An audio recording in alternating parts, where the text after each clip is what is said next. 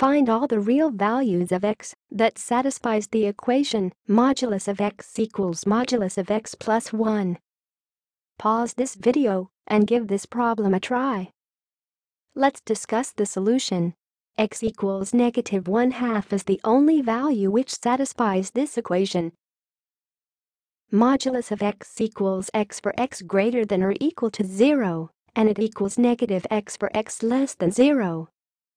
Similarly, modulus of x plus 1 equals x plus 1 for x plus 1 greater than or equal to 0, or x greater than or equal to negative 1, and it equals negative of x plus 1 for x plus 1 less than 0, or x less than negative 1. So we can have three intervals here. First x greater than or equal to 0, for which modulus of x equals x, and modulus of x plus 1 equals x plus 1. Second, x greater than or equal to negative 1 and less than 0, for which modulus of x equals negative x, and modulus of x plus 1 equals x plus 1. And third, x less than negative 1, for which modulus of x equals negative x, and modulus of x plus 1 equals negative of x plus 1. Let's find the solution in each of these intervals. Case 1, x greater than or equal to 0. For this interval, the equation becomes x equals x plus 1. Clearly, no value of x greater than or equal to 0 satisfies this equation. Case 2, x greater than or equal to negative 1 and less than 0.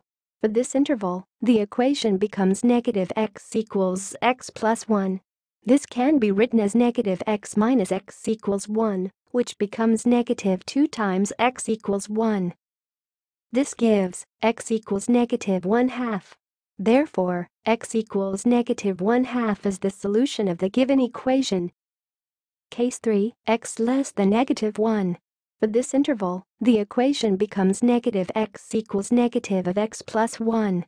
Canceling the negative sign from both sides of the equation we get x equals x plus 1. Just as in case 1, no value of x less than negative 1 satisfies this equation. This implies that x equals negative 1 half is the only solution of the given equation. We can verify our answer by keeping this value of x in the given equation. Doing so, the left side of the equation equals modulus of negative 1 half, which equals 1 half. The right side of the equation equals modulus of negative 1 half plus 1, which also equals 1 half. This verifies that negative 1 half is the solution of the given equation